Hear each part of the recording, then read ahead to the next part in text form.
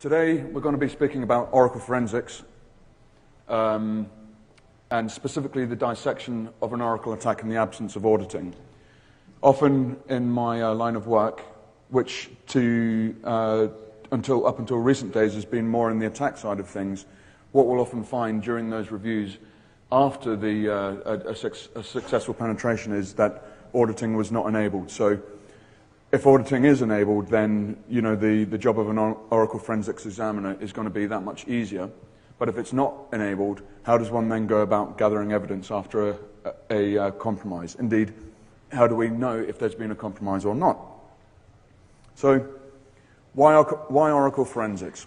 Well, since the, uh, the state of California passed SB uh, 1386 uh, back in 2003, another 34 states have followed suit.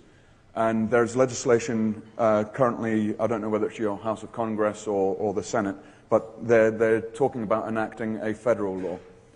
And so the, the, the, problem, well, not the problem, the idea behind these database um, security breach laws, or data breach laws even, are that in the event of a customer's uh, personally identifiable, identifiable information being stolen, they are to tell their customers of, of the compromise.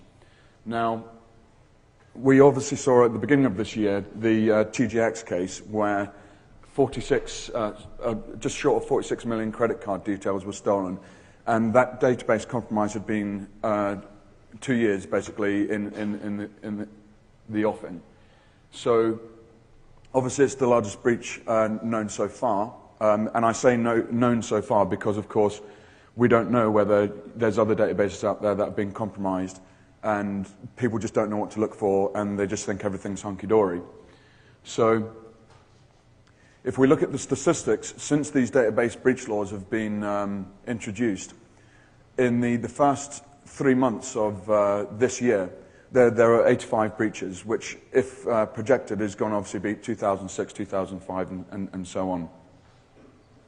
Now, in, in all fairness, uh, these publicized breaches do not necessarily just involve database compromises. They may include a, um, a lost or stolen laptop, for example. So without, um, it's unfortunate that uh, the, the, the, source of this data doesn't define whether the, the, the breach has been, you know, occurred due to a lost laptop or an actual database compromise. So given that the law, certainly in 35 states, tells someone that in the event of a compromise, you have to alert your customers to that fact, how do you know whether there's been a successful compromise or not?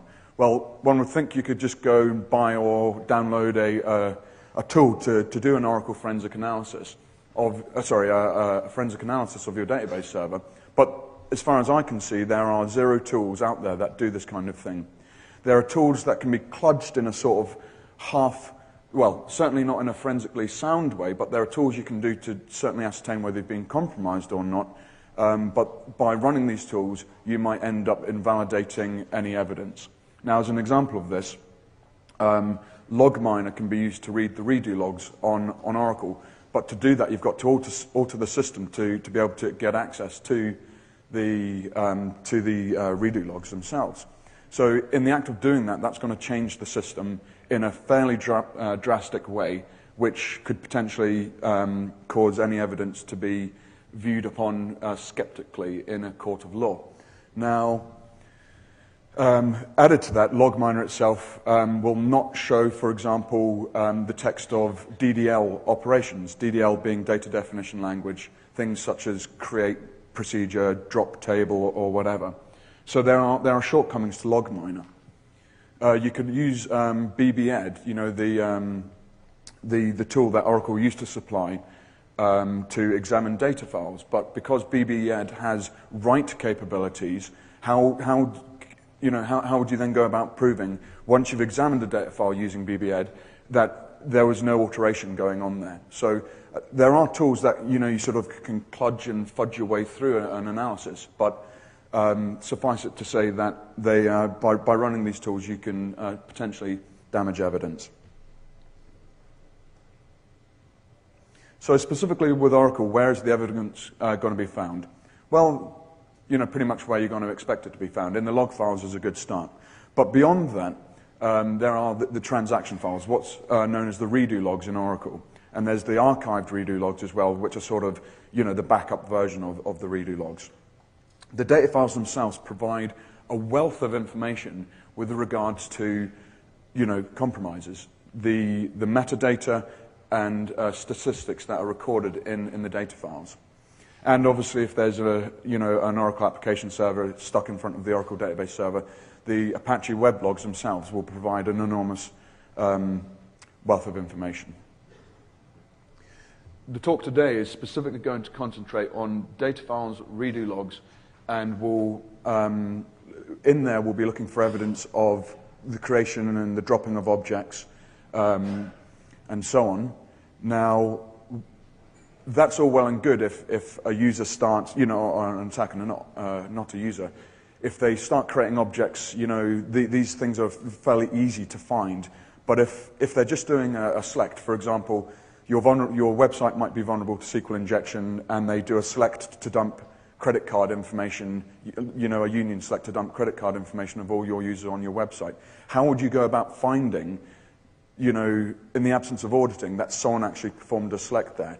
And let's say the, the, uh, the inject point was via post data and you're not logging post data on your, um, your web server, then unless you've got a sniffer running or some other means of doing this, you're never going to find out if someone's done a select such as that.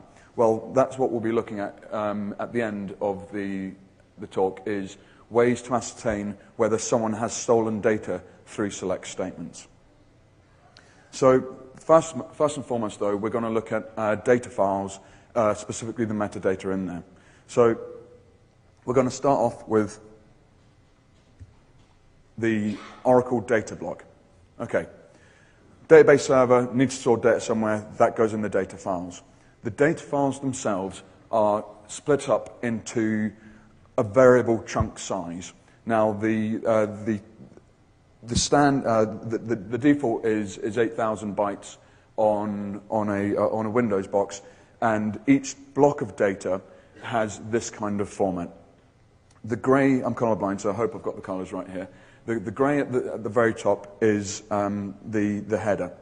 Below that is a table directory, and uh, that's the light grey. The yellow thing is the row directory. We'll speak about more about the row directory in, in a second. Data itself grows from the bottom of the data block upwards towards the, the header and the row directory grows downwards towards the, towards the row data itself. In between is free space. Now, what is this row directory? The row directory basically is a bunch of two byte entries that point to an offset into the, into the, um, the, the row data. Does any, um, do we have a, a laser pointer actually at all? Any chance of getting a laser pointer? Great, thank you. Ooh. Thank you. Ooh. Thanks. Cheers. Okay. Thanks very much. Okay. So in here are, and here are two bytes. Um, it's a director of two byte sections, basically, that um, are an offset into this section here. And the offset is, starts from the, the beginning of the row directory.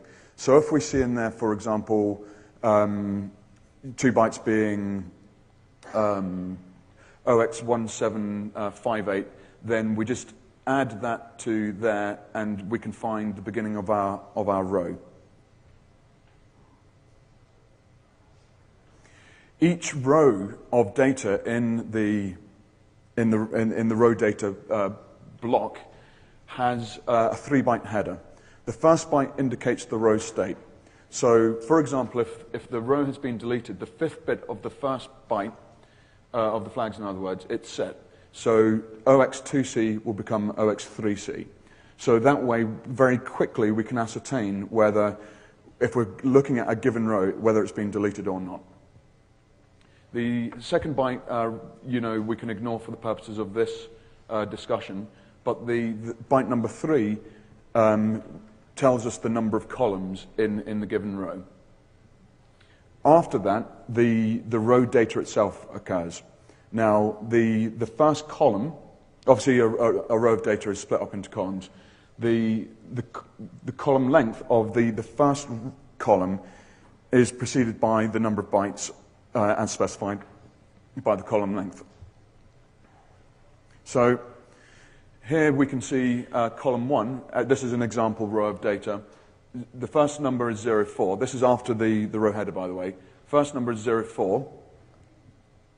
And that indicates there are four, four bytes of data that fill this column. So C306132F there.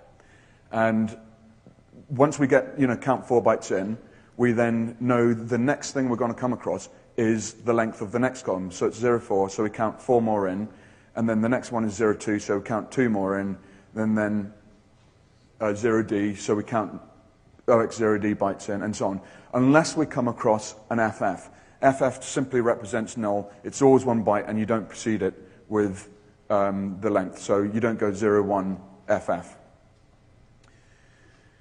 Um, so we, we trace that all the way through, and obviously by the time we get to the very end, this number here should equal the number of bytes in the row header. Um, sorry, uh, the number of columns counted should match up with the, um, the number of columns as specified in the row header. So that's when we know when to stop.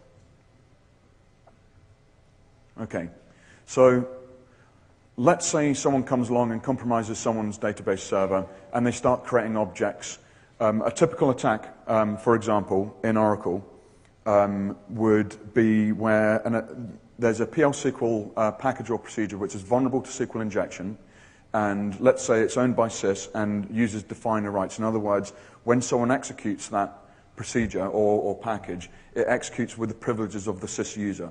Now, sys being DBA, being God uh, essentially on that database server, if it's vulnerable to a SQL injection flaw, then an attacker can come along and inject SQL that will execute as the sys user and allow them to gain complete control of that database server. Now, a, a typical way an attacker might exploit that is if they have the create procedure privilege, for example, um, Scott or anyone with the connect role, um, they can come along, create their own nefarious uh, function, stick it, you know, uh, specify a pragma of uh, autonomous transaction, uh, create the, uh, the function as authID current user. So when it's injected, when this function is injected into the, um, the sysown procedure, it will um, gain the privileges of sys temporarily. And in there, they specify, for example, execute immediate, grant DBA to public, or you know, do something equally nefarious. So an attacker, in the course of compromising a system, might go around creating objects. And after they've uh, you know, created these objects, done whatever they want to do, they might go after themselves and clean up to, to attempt to hide any evidence of the, the, their presence. So if we were to spend some time looking for these dropped objects, if indeed they did drop them, if, if, they, if, if of course they didn't drop them, then they're there for, you know, easy to see. If they did, of course, drop them, then we can go around hunting them. But before we can start hunting them, we need to work out what happens when you go around creating an object. So essentially, you know, the, the, the first obvious thing is a, a, row is entered into the obj dollar table. The obj dollar table is obviously where um, every object is tracked in Oracle. Again, a wee bit of feedback here. Um, not only that, but